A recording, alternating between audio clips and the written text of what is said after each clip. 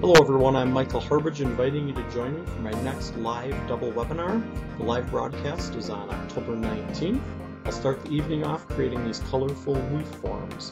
I'll show you how to create these leaves. You can do it in the summer months, you can do it in the winter months, and I'll also explain about all different types of finishes. I'll show you how to do stain finishes with non-fired colors, and I'll also show you how to do fired finishes with all different types of fired colors. I'll explain the differences between using white clay and red clay and the effects that can have on your final finish. Once we complete that webinar, we'll take a short break and then I'll come back and the next session we'll be creating this really neat Santa jar.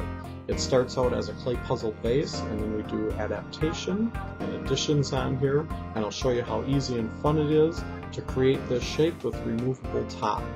It's really easy to do. I'm hoping you can join us. If you can't make it for the live broadcast, sign up anyway because the recording is free when you've pre-registered for the live webinar.